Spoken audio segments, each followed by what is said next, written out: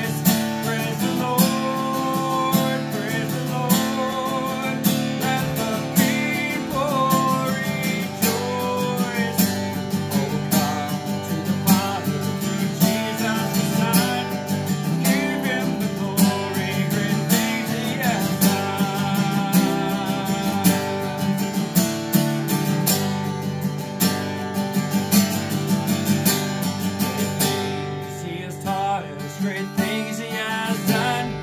Great are rejoicing through Jesus the Son.